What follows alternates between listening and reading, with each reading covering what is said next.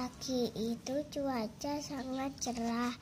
Di tepi sungai terlihat seekor katak ke kecil dan ibunya sedang berbincang-bincang.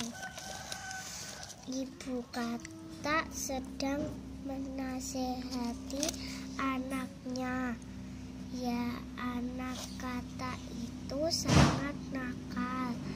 Ia sering mengabaikan nasihat ibunya.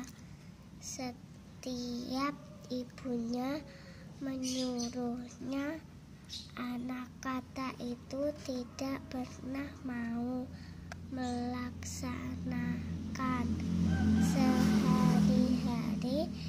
Dia hanya bermain dan bermain saja.